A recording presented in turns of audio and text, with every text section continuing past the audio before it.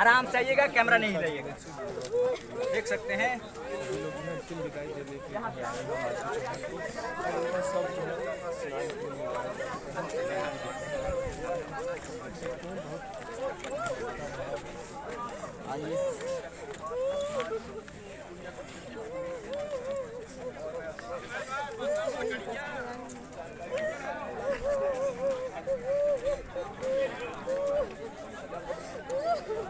दोस्तों, आप लोग देखिए, गोरखपुरिया भौजी है।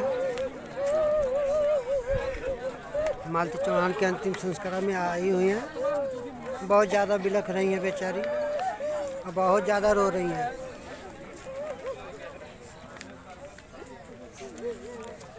और इनके साथ में अन्य लोग भी हैं, लेकिन बहुत परेशान हैं बहुत दुखित हैं।